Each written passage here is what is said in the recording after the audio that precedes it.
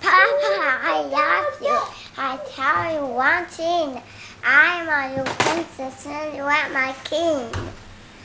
Ta-da!